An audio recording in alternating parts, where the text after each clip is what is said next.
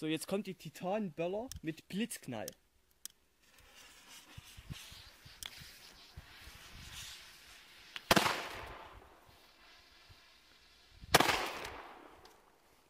So, jetzt komme ich zum Fazit von den Titanböllern von Weko und dazu muss ich sagen, es sind zwar für drei Böller 1,99, aber es ist halt mal was anderes.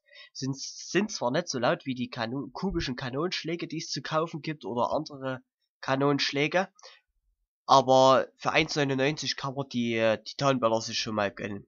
Und ist halt eine Kaufempfehlung von mir, weil der Titan Blitzknall mal was anderes ist.